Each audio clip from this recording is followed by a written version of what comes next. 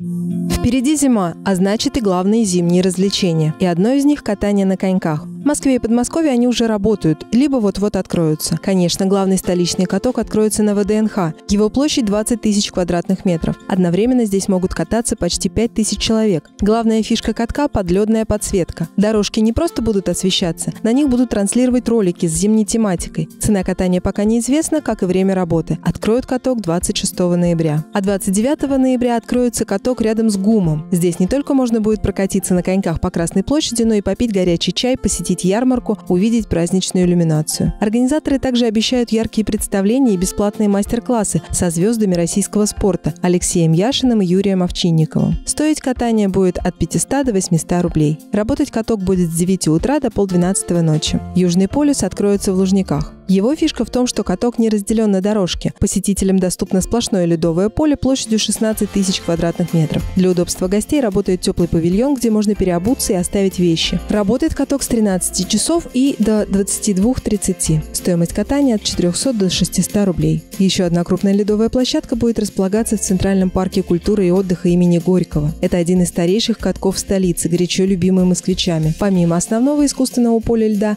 откроется детская ледовая площадка и хоккейная коробка. Часы работы и цена станут известны ближе к дате открытия.